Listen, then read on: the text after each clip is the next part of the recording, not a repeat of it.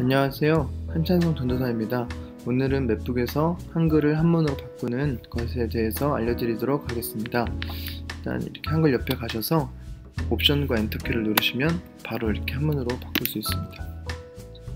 여기도 제가 길일 찬